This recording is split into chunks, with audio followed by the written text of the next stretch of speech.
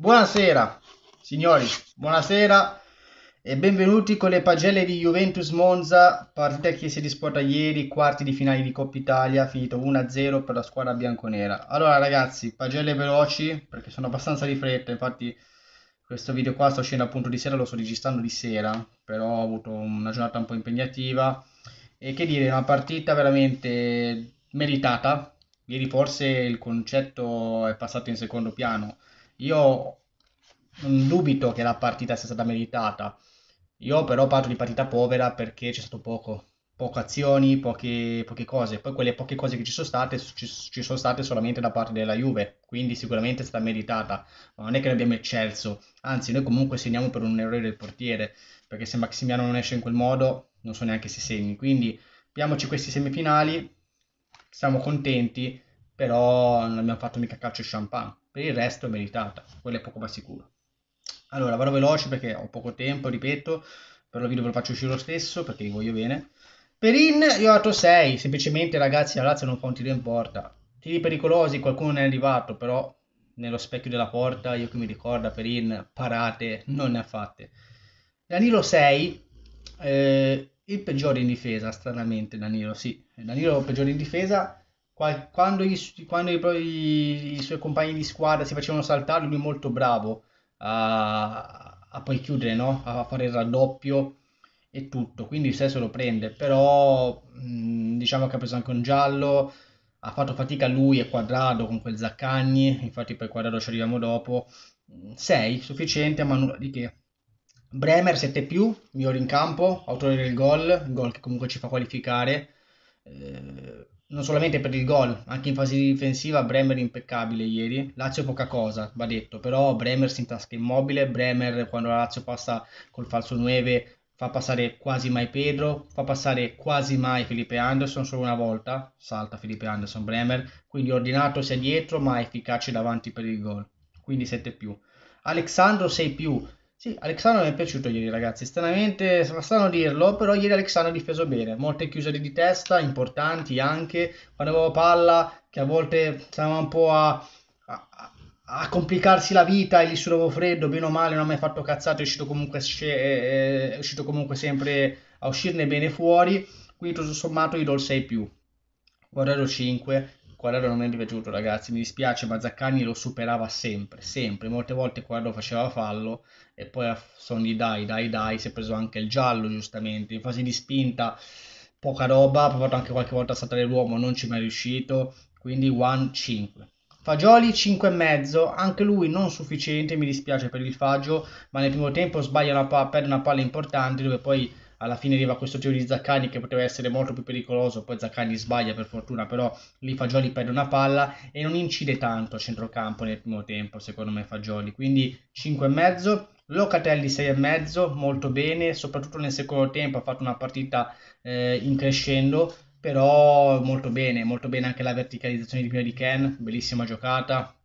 eh, anche molto bravo a pressare nei minuti finali, eh, lì proprio a ringhiare su, sui giocatori. Mi è piaciuto Locatelli, quindi 6,5, giustamente l'ho svincolato al fantacalcio, adesso fa il fenomeno. Ops, piccolo spoiler, vabbè, ho fatto l'asta, quindi poi scoprirete i miei acquisti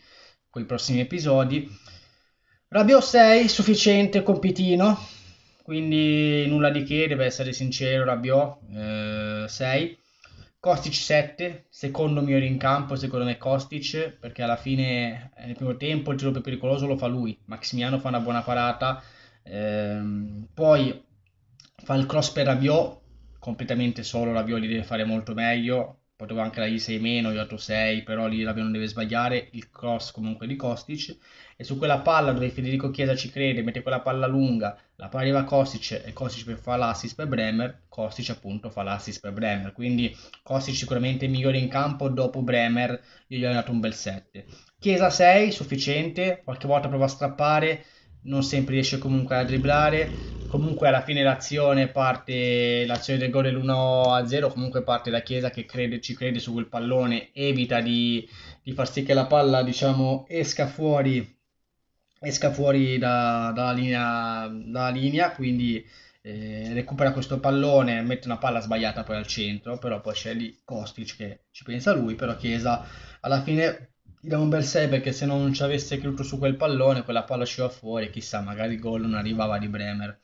Vlaovic 5,5, purtroppo Luja non è riuscito ancora a incidere, mm, è appena tornato da poco, ci può stare, aveva 60 minuti nelle gambe, poi lei l'ha tolto, ha fatto un colpo di testa difficile da segnare e un tiro completamente a caso, sbagliato, a lato, quindi insomma deve ancora tornare Lujan Vlaovic, 5,5, niente di che.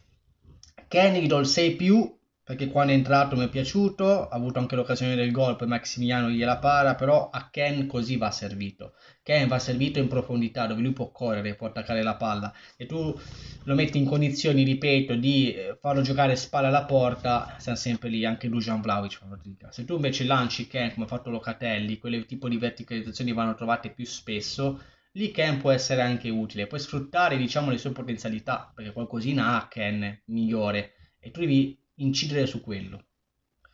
Miretti 6, partita da sufficienza, mm, ha avuto anche un'occasione su un colpo di testa,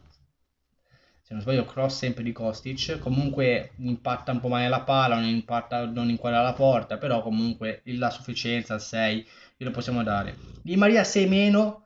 perché quel meno? Molto bravo a fare i numeri, a superare anche l'uomo, cioè Di Maria su questo non si critica, però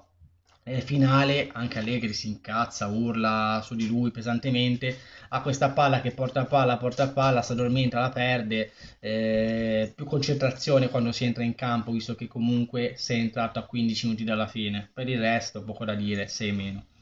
De Sciglio gli diamo un senza voto perché entra, piccolo appunto su De Sciglio, un giocatore che a me non piace per niente, perché a me De Sciglio non piace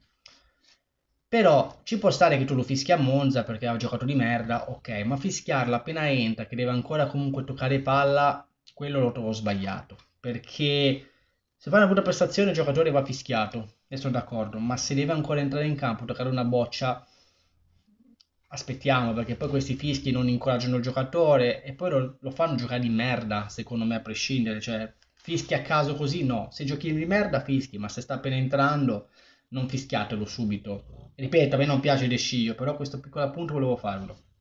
Allegri 7. 7 perché comunque vince la partita, non, di, non chissà quanto, 1-0, però